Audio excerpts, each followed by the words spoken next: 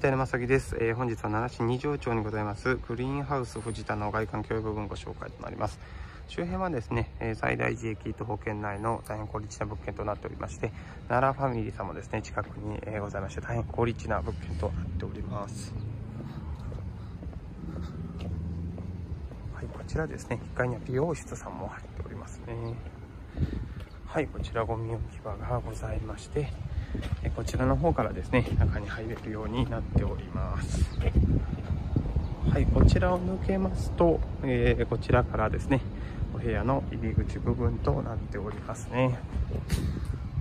はい集合ポストもこのようにございます、その他詳しい、え間取りや賃貸条件は弊社ホームページでご確認ください。賃貸のまさきでは、学割キャンペーン等も実施しております。ぜひご来店をお待ちしております。奈良のもてなし奈良心、賃貸のまさきでは皆様のお部屋探しを全力でサポートいたします。ご視聴ありがとうございました。